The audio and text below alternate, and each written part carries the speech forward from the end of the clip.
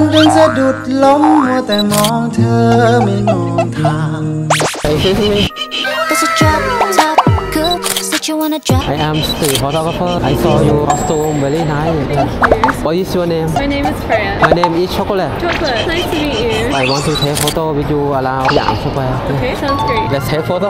โอเคภาพถ่ายเซตนี้ผมได้เปลี่ยนมาใช้กล้อง Sony Alpha 7 C2 จากที่เมื่อก่อนผมใช้กล้อง Sony ZV-E10 Can't stop with the way I've been falling. You see your photo Perfect. Thank you so much. ผมก็เลยจะมาสรุปความแตกต่างระหว่างกล้อง 2 ตัวนี้ ไปรับชมกันได้เลยครับ Freaky girl. ประเด็นแรกก็คือระบบ AI Auto Focus Tracking ในกล้อง Sony Alpha 7 C2 ที่มีความรวดเร็วสูงสุดทำให้ไม่พลาดในทุกช็อตโมเมนต์สำคัญ ตามด้วยระบบ AI Subject Recognition ที่ใช้ระบุแยกตัว subject หลักในภาพถ่ายเพื่อให้เกิดความแม่นยำสูงในการล็อกจุดโฟกัสซึ่งในกล้อง Sony ZV-E10 ไม่มี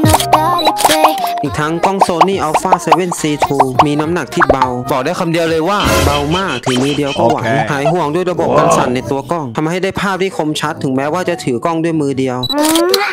Sony Alpha 7 C2 เป็นกล้องที่พาไปเที่ยวด้วยทุกที่ ถือถ่ายทั้งวันก็ยังสบายไม่มีปวดแขนแน่นอน Sitting out like me, me, โอเคเฟย่าที่ทูวัน cry. เฟย่า can we do fish bump เฟย่า I give you chocolate Thank you so much to take photo with me Have a nice day Bye bye